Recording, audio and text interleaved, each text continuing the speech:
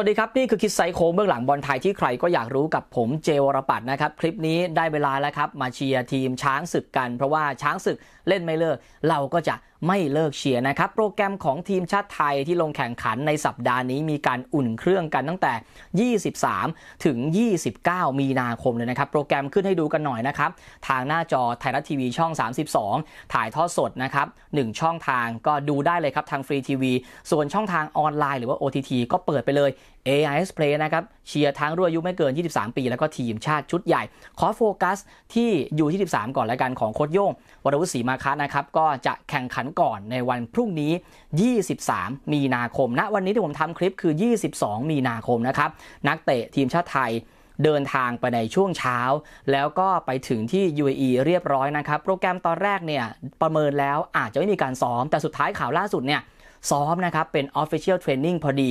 ร่างกายนักกีฬาอาจจะอ่อนล้าหน่อยแต่คงซ้อมกันเบาๆ แล้วก็ทบทวนวิธีการเล่นรวมถึงดูศักยภาพผู้เล่นด้วยนะครับว่าใครพร้อมที่สุดเอาร่างกายเป็นหลักก่อนเลยครับ ใครสดกว่าคงจะมีโอกาสได้ลงเล่นในเกมนี้ ก็ครบเลยนะครับ 23 คนที่เรียกมาเดินทางจากไทยไป 21 คน อีก 2 คนที่เดินทางไปสมทบ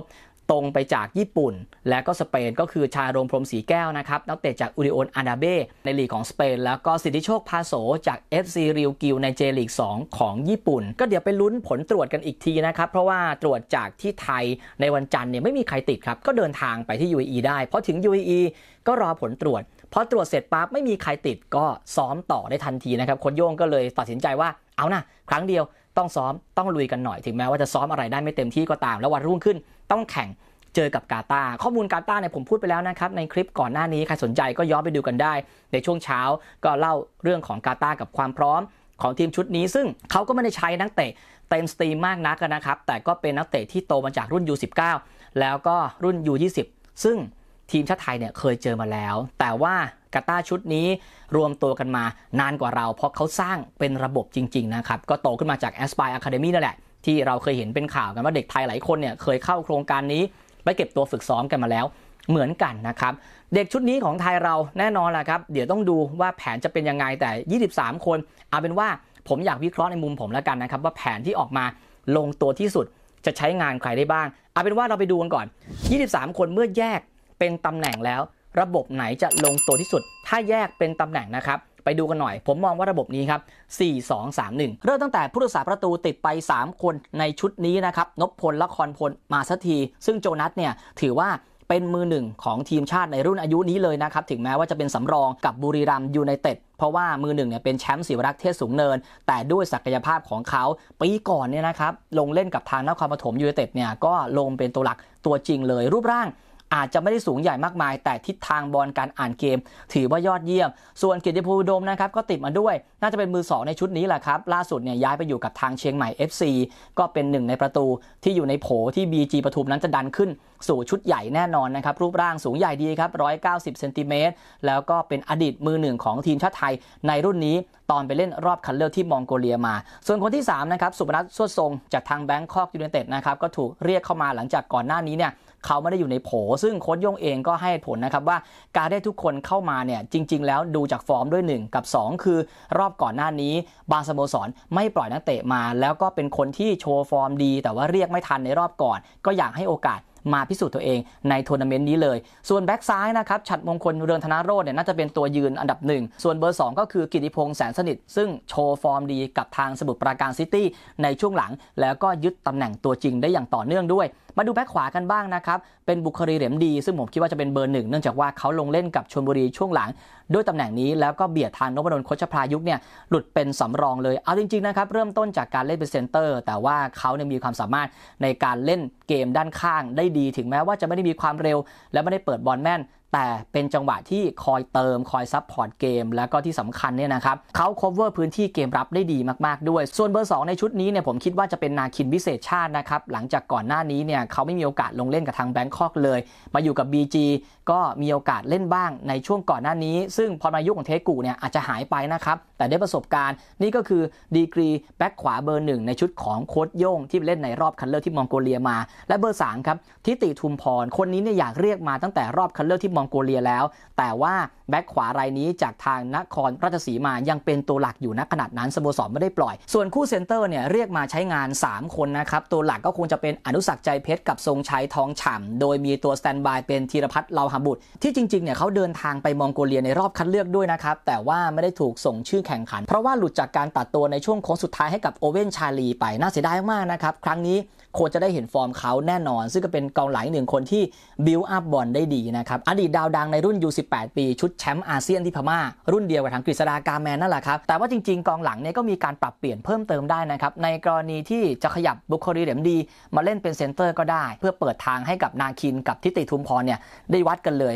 ในทัวร์นาเมนต์นี้ว่าใครเหมาะสมจะไปในชุดสุดท้าย ส่วนกองกลางนะครับไปดูคู่มิดฟิลด์นะครับถ้าระบบ 4-2-3-1เนี่ยต้องมีตัวรับ 1 คนแน่นอนแหละครับ คอยตัดเกมแล้วก็เก็บกวาดหน้าลายกองหลังนั่นคืออิรฟานดอเลาะนะครับ คือเบอร์หนึ่งเลยของทีมชุดนี้ ซึ่งก็เป็นตัวหลักจากชุดในรอบคัดเลือกที่มองโกเลียและโชว์ฟอร์มได้ดีด้วย ก็จะยืนคู่กับทางชิษณุพงศ์โชติจากชลบุรี หรือ อาจจะเป็นวิลเลียมไวเดอร์เชอร์จากการท่าเรือนะครับ ซึ่งวิลเลียมช่วงหลังเนี่ยฟอร์มแรงมากนะครับ หลังจากการมาของเจเด็จ มีลาภเนี่ยก็ส่งลงอย่างต่อเนื่อง ส่วนชิษณุพงศ์เนี่ยก็ถือว่าช่วงหลังๆ มีเกมเยอะขึ้นด้วยนะครับ จากอาการบาดเจ็บของทางจินี่คันยุกหรือแม้แต่กองกลางของชลบุรีที่อาจจะไม่สมบูรณ์มากนักเนี่ยชิษณุพงศ์ก็เลยมีโอกาสได้ลงเล่น แล้วก็โชว์ฟอร์มได้ดี ล่าสุดเนี่ยก็จริงๆ เป็นตัวเลือกอันดับต้นๆเหมือนกันนะครับในแผงกองกลางของทางฉลามชล ส่วน 3 ตัวรุกนะครับริมเส้นฝั่งซ้าย ผมว่าเบอร์หนึ่งรอบนี้จะเป็นเมธีสาระคำหลังจากที่รอบที่แล้วที่มองโกเลียเนี่ยเรียกไปแล้วแต่ประจวบไม่ได้ปล่อยตัว และเบอร์2เนี่ยผมว่าเบียดเบียดกันเลยนะครับอนันต์ยอดสังวาลย์เนี่ยเล่นใน T2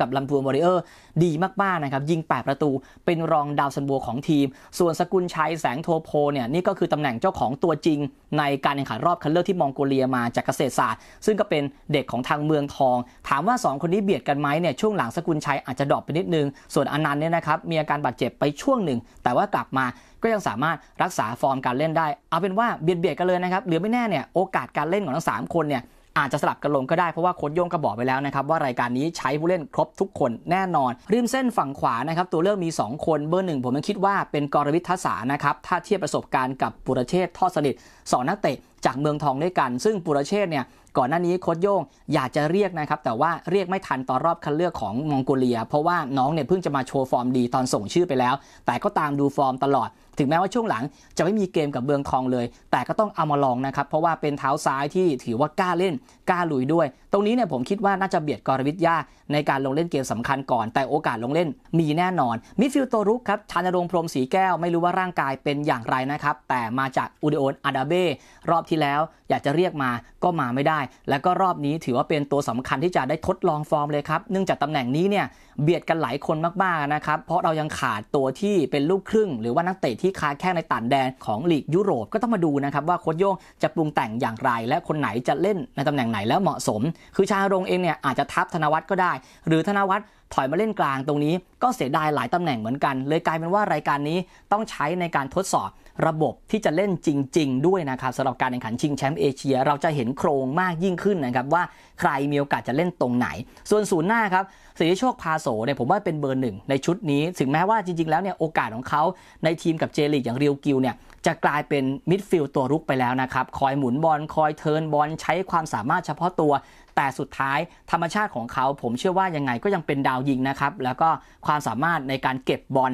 การยิงไกล เราจะได้เห็นนะครับว่ากลับมาครั้งนี้มั่นใจมากขึ้นกว่าเดิมหรือเปล่า รวมถึงอาการบาดเจ็บด้วย ถ้าหายเป็นปลิดทิ้งแล้วเนี่ยเราจะได้เห็นสิทธิโชคคนเดิมกลับมาเหมือนตอนที่ฮอตจริง ๆ ต่อรุ่นอายุไม่เกิน 19 ปีทีมชาติไทยเบอร์ 2 กับเบอร์3เนี่ยเลือกไม่ถูกเหมือนกันนะครับผมคิดว่าเอาจริง ๆ แล้วเนี่ยถ้าสตาร์ท จากมานั่งสำรองโอกาสจะเป็นของทางพาทริกกุสตาฟสันจากทางเชียงใหม่ FC นะครับเพราะว่าเราไม่เคยเห็นเขาเลย และก่อนหน้านี้เนี่ยเขาก็เคยอยู่ในโผของนักเตะ ลูกครึ่งที่จะถูกเรียกมาติดทีมชาติอยู่แล้ว ก่อนที่ BG จะดึงมาแล้วถูกส่งปล่อยตัวไปอยู่กับทางเชียงใหม่ด้วยสัญญายืมตัว ก็คิดว่าคนจะได้ลองครับ เพราะว่าเทียศักดิ์เผยที่มาเนี่ยเห็นอยู่แล้วแล้วก็มีเกมต่อเนื่อง ทั้งรอบคัดเลือกของทางโค้ชโย่งกับท่าเรือเองช่วงหลังก็ได้ลง และที่สำคัญเองนะครับ ก่อนหน้านี้กับทีมชาติ ในรุ่นอายุไม่เกิน 23 ปีชิงแชมป์อาเซียนธีรศักดิ์เองก็ได้ไปลงเล่นแล้ว เห็นฟอร์มกันอย่างต่อเนื่อง ก็อาจจะใช้เวทีนี้ในการคัดคน แล้วก็ดูคนที่ยังไม่เคยเห็นฟอร์มซะมากกว่านั่นคือรายชื่อทั้งหมด